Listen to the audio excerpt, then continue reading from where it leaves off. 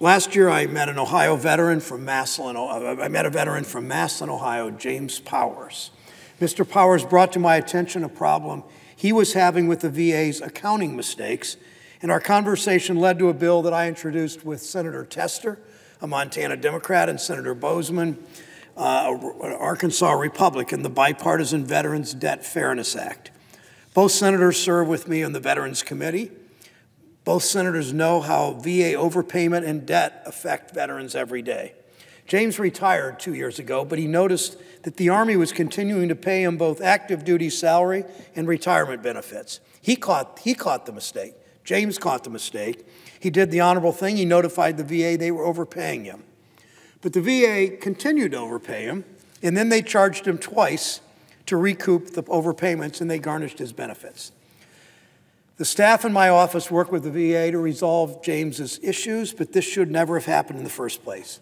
It's fixed now. He had to go through that. He, to his credit, to James' credit, he wanted to make sure his experience, which was uncomfortable or worse at times, would change policy and affect future veterans so they wouldn't have to go through this, which is um, why, why I admire him so much.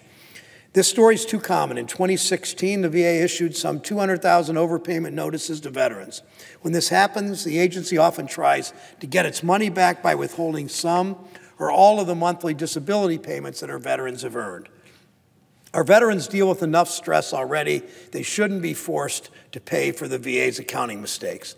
Our bill would ban, ban, the VA from charging veterans for its own mistaken overpayments. It should protect veterans who depend on their benefits by capping the amount the VA can deduct from a veteran's monthly payment at 25%. It would ban the VA, VA from collecting debts more than five years old.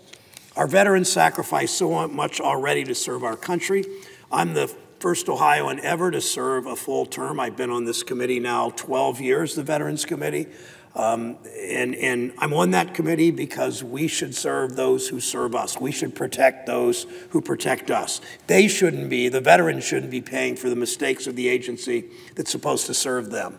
Unfortunately, our bill wasn't included in the Defense Authorization Act last week, so instead we have an amendment to the VA Milcon bill to require the VA to track down these, to track these overpayments and report to Congress on the scope of VA debt.